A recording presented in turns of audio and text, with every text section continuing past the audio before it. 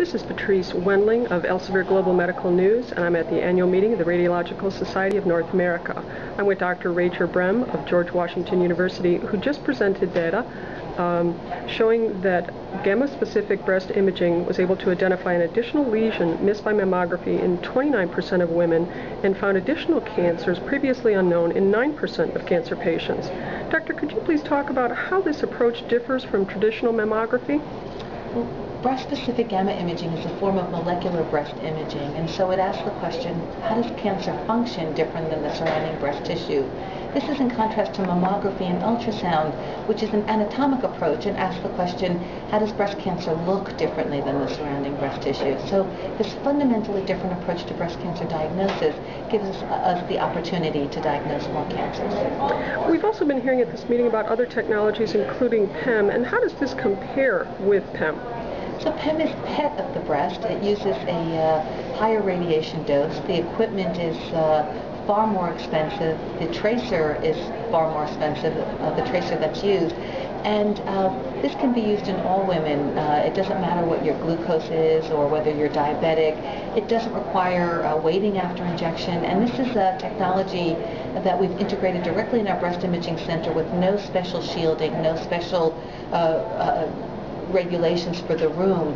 Uh, and so it's a much lower dose and a different type of uh, radio tracer uh, that is uh, a lower dose for patients. How does the experience compare for women, and uh, what have you been hearing from them regarding going through this exam? The equipment is quite different. Right. So um, let me just go back to PEM for a second as well. One of the things that's important to remember is that we, we can reliably diagnose uh, many cancers that are the smallest, one millimeter in size, and so there really isn't any need to diagnose cancers that are smaller than that. That's the smallest that you could possibly image.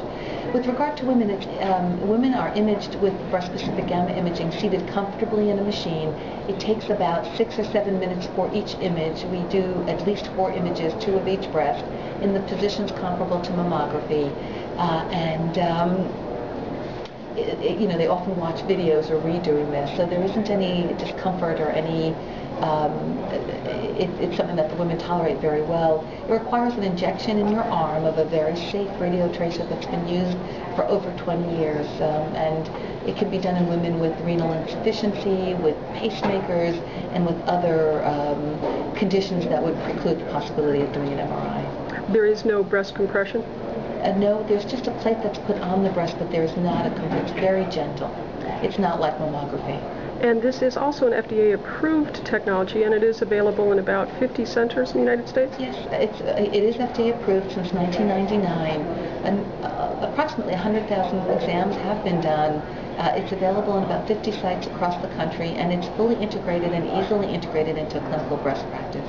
How do you see the future of this technology being used? I think it's a very exciting technology. It's a technology that um, will help us identify cancer in high-risk women with normal mammograms and physical examination. Clearly, as the study presented today shows, we find more cancers in newly diagnosed breast cancer, and that significantly impacts management.